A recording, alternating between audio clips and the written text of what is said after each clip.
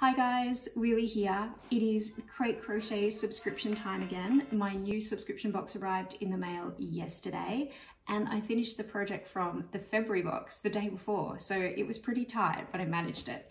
And I have to confess, I only managed it because I saw on Instagram that Crate Crochet posted that they had mailed out their subscription boxes and that gave me a kick up the butt and I got crocheting. And this is the finished mandala. The mandala came with a hoop, but the project didn't come with a gauge. So I didn't know whether I was on track. And to be honest, I didn't even wonder if I was on track. I was just enjoying the mandala so much. It was a really, really nice project. And I pretty much finished it before I realized that I was way off track with fitting the hoop. My mandala was way, way, way too big. That was attempt number one. That was attempt number two. And this was attempt number three. Attempt number three was too small. And attempt number four, I got right. So pleased with the finished product. And I fiddled around with the colors a little bit too. So I guess doing all those different versions, it wasn't a waste. I got something that I really like in the end, but I do wish they'd given a size gauge. It would have been really helpful. So the new box is here.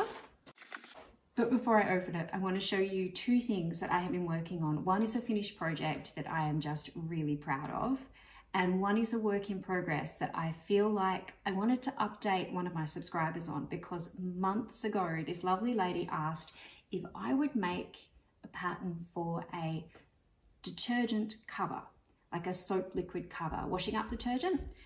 And I've been working away on it and it took me much longer than I thought it would because when I had a Google and had a look at what everybody else has done for a dish liquid cover, they're all cute little aprons and dresses and they're all frilly and cute. And I thought, hey, I don't want to do that. I want to do like an ugly jumper.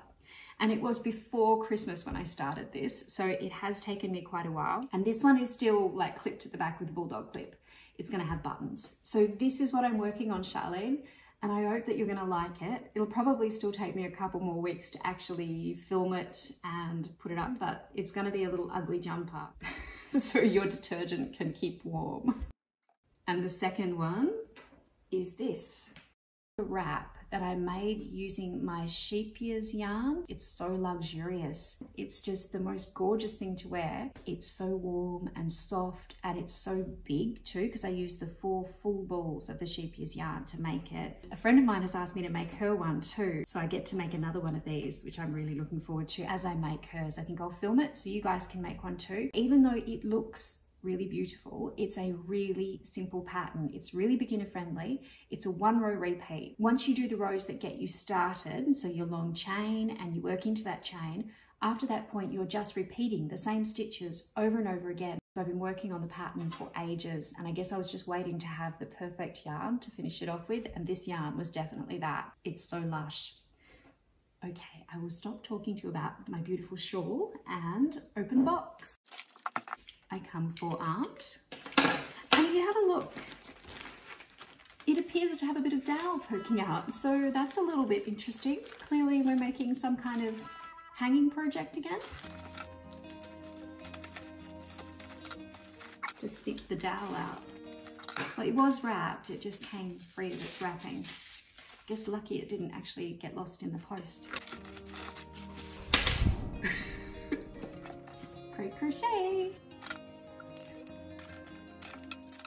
It's really um, it's really over full and stuffed. That's always kind of nice, isn't it?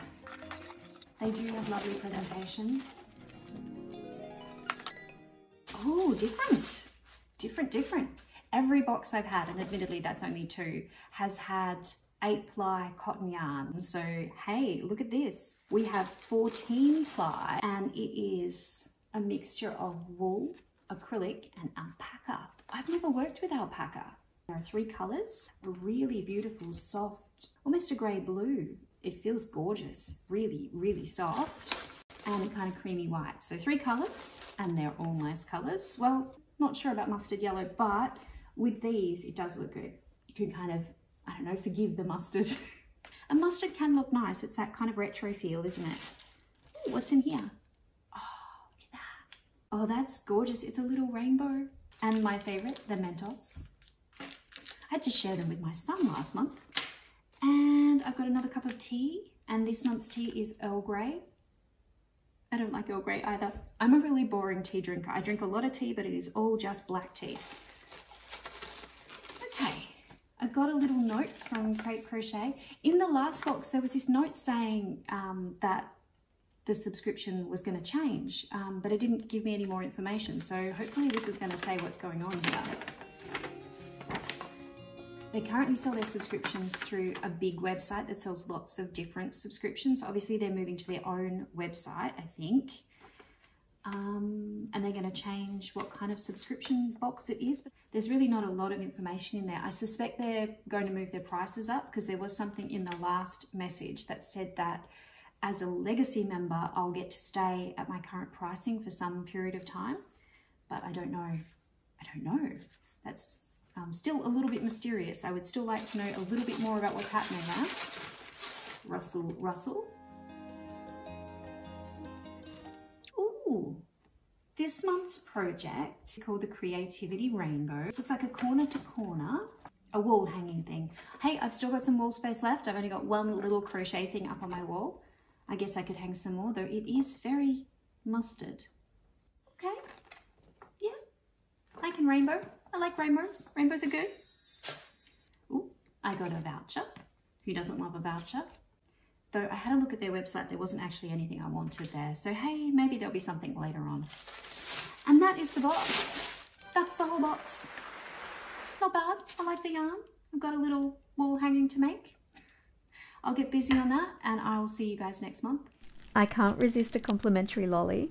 If you want to watch some more unboxing type videos, I've got a playlist here you can have a binge on, or if you'd rather some actual crochet, maybe you'd like to have a look at this and try it for your next project.